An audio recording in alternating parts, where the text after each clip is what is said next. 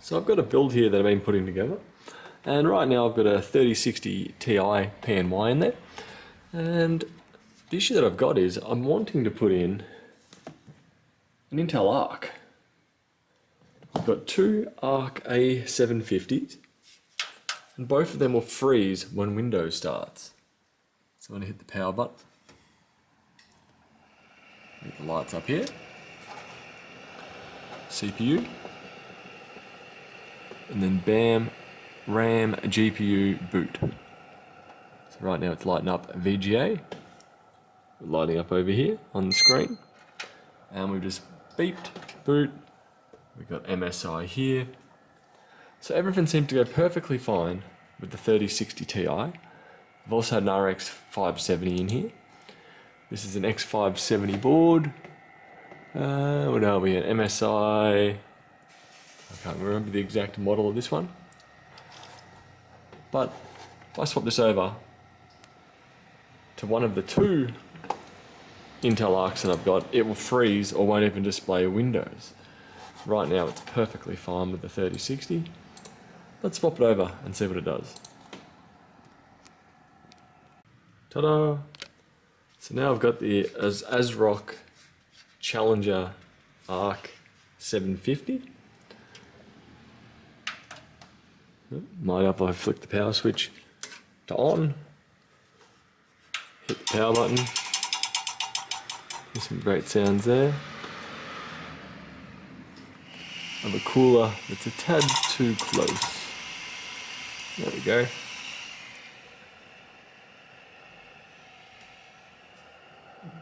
Graphics card.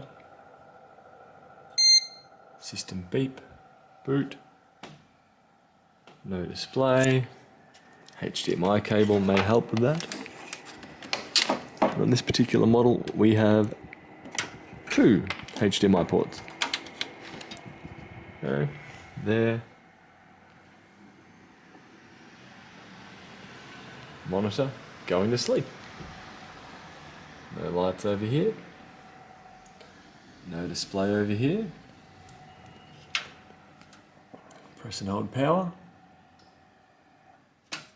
We're off once more. Back on again. Now I'm just mashing delete. So we go CPU.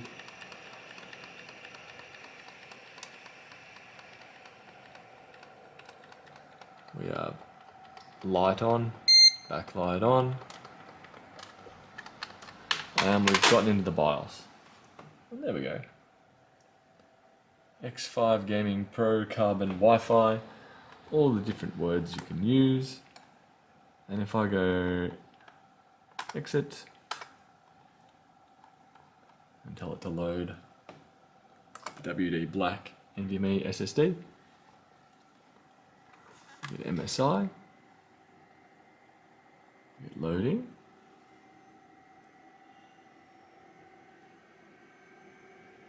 And we should be loading right about now. We have monitor going to sleep.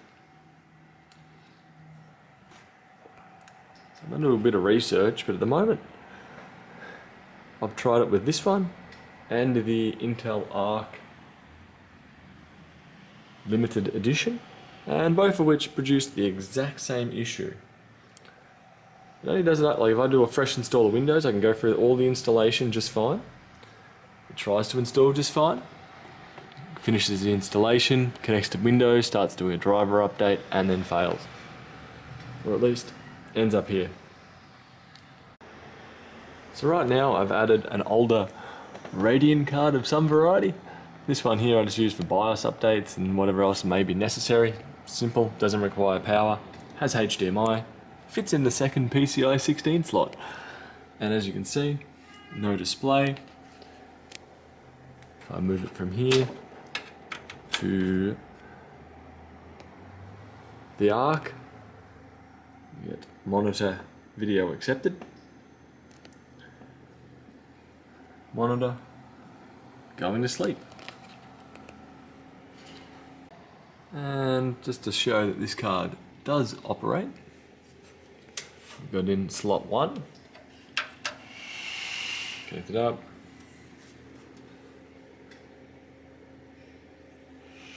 Have lights, more lights, more RAM.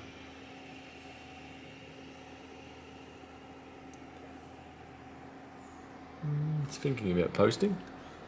We're sitting on CPU.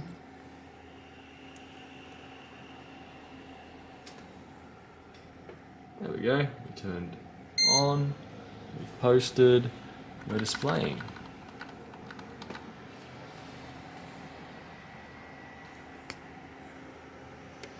That GPU is functional.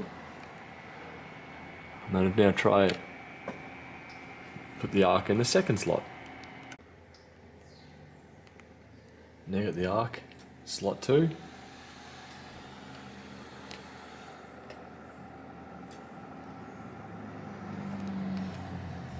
Still nothing there.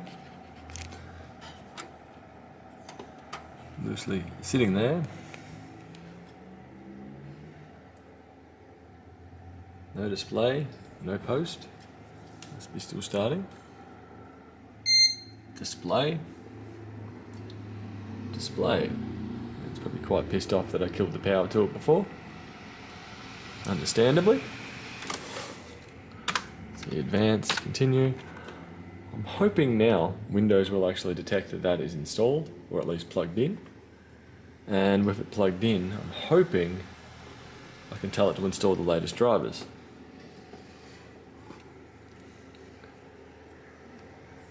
Or we'll just go to sleep. Nope. Posting again. There's definitely a gremlin somewhere here. Still can't figure it out.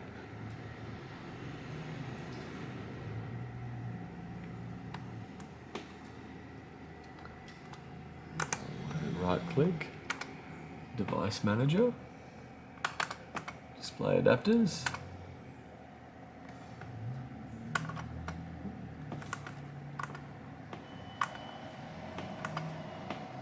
Say that is the Intel one, being that's the Intel vendor code, 8086. Hoping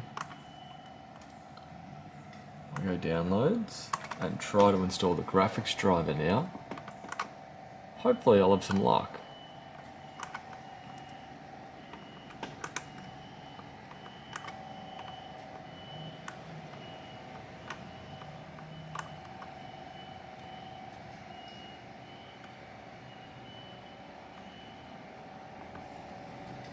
Begin installation. Agree. Next. Uninstalling graphics driver.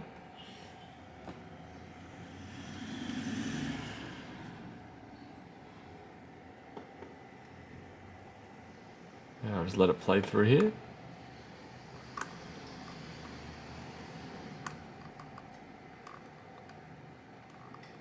Creating registry.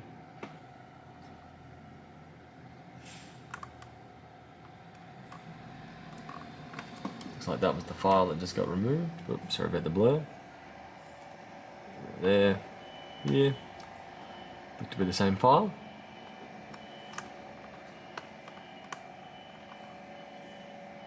Still haven't quite figured out what it is yet.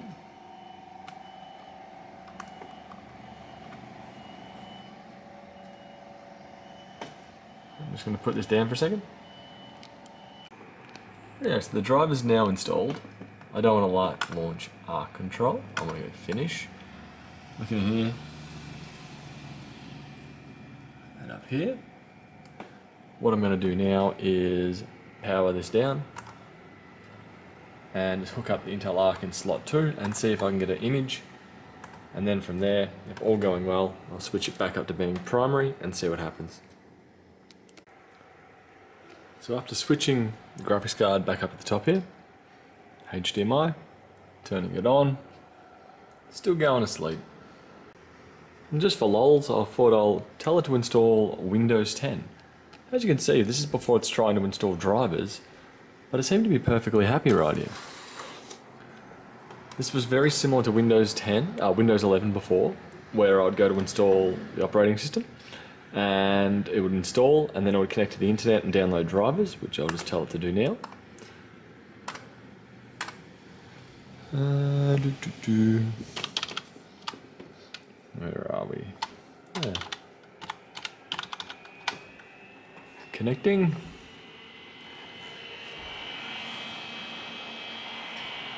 One fan kicking up here. On the Thermalright. There we go. Now, this has got free reign on the internet, so I'm going to assume it's going to go for that graphics driver, which it's probably going to beat me getting it. Um, if Edge lets me in.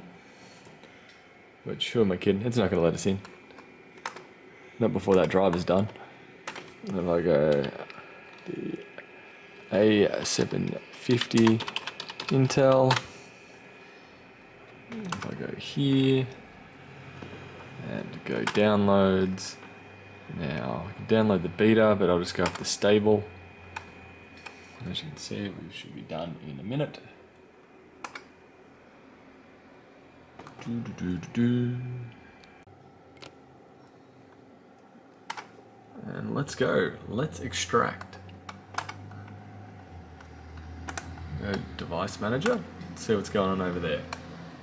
Display adapters. So right now, it's seeing it just fine. Which makes me say, what the hell is going on with Windows 11?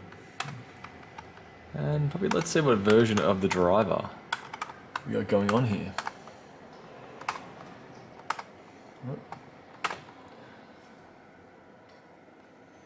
September 2022. Clicked mail by accident. Go. Tell it to install. And we'll see where we get to. Let's let's reboot and see where we get to.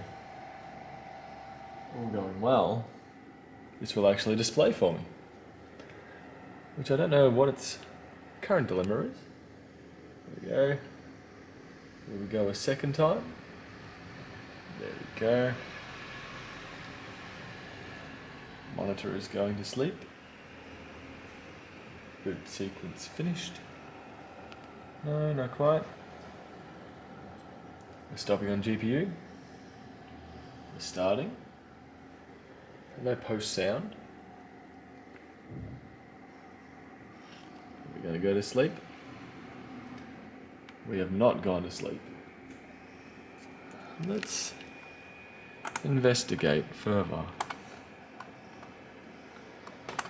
Display adapters, Intel Arc. Arc control, yes. Oh god, what's going on? Details, driver version, 16 with the 3rd, 2023. Resizable bar is supported but not enabled. I'm pretty sure my BIOS said it was enabled. Let's go check that out.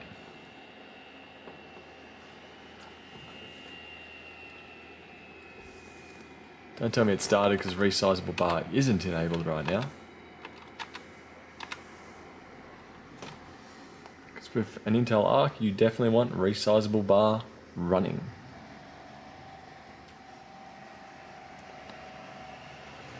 Boot sequence, RAM lighting up, much over here, back to over here. Now we're lighting up.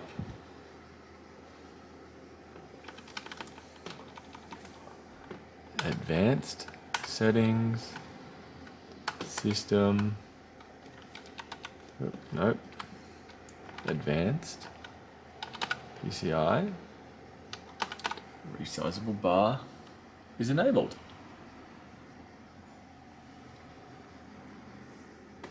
Odd. And now I've just had a bit of an epiphany. I'm running a Ryzen 9 3900X, 12 core, 14 thread, pre Zen 3. It's not a 5000 series. The 5000 series support resizable bar. The 3000 series does not.